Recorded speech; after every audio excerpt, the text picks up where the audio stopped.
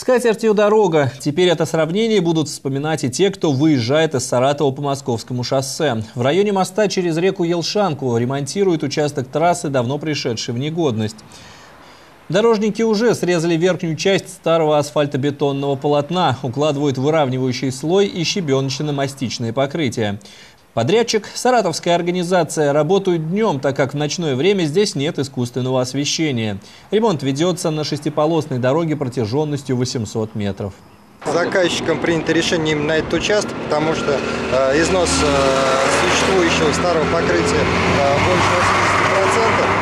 Э, и именно этот участок выбран, потому что и въезд в город – а, поэтому требовалось именно а, надежное, качественное и вот именно а, усиленное асфальтбетонное покрытие. Завод это у нас свой викинг, э, то есть мы производим асфальтбетон щебеночно-мастичный.